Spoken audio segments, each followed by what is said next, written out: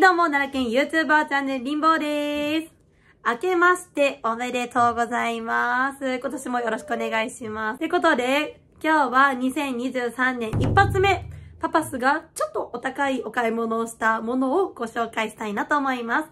それがこちら。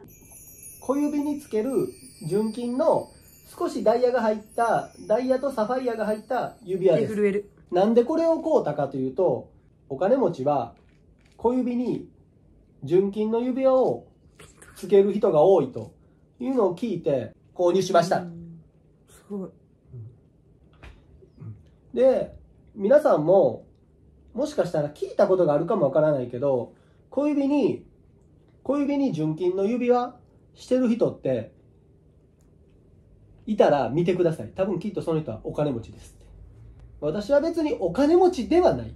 でも一般の人の何倍かはお金は稼いでるう。ん稼いでるな稼いでる、うん、それはもう間違いない。羨ましいほんまに。うん。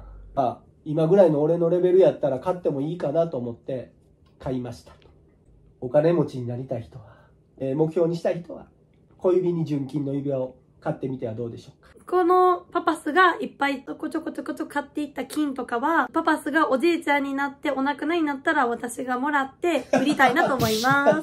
パパスこれからもいっぱい買ってね。将来のために。帰るときに買っとこうや。じゃ返すわ、これ。はい、返して。返して。まだ死んでないし。後々リンの手に入るしえわ。